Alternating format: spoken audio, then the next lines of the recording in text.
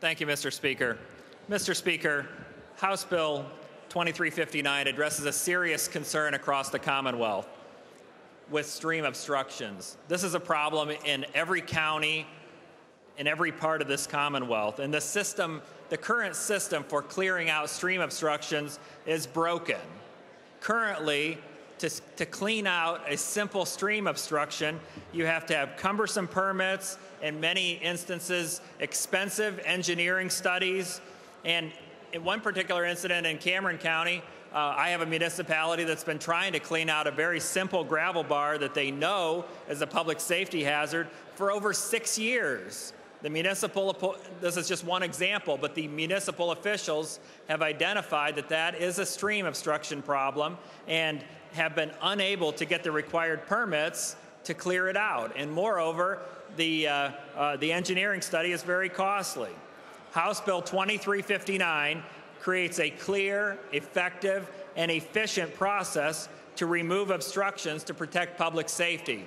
As I, as I described the bill earlier, it will require the Environmental Quality Board to establish guidelines for removal of these obstructions. I think that goes to the, the gentleman from Lancaster's earlier comments that this is not just someone going in the stream and removing an obstruction.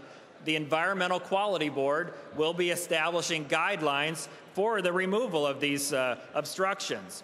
The bill also requires notice to the Department of Environmental Protection before any projects to move, remove obstructions would move forward.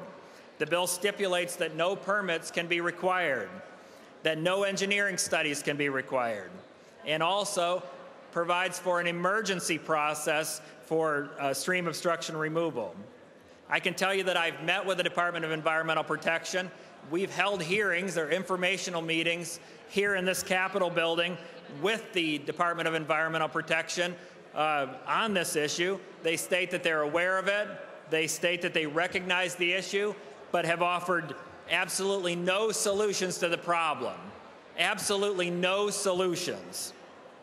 Let's work together and send a message to the Department of Environmental Protection that this is a serious problem and we need to give our communities the tools necessary to remove these obstructions.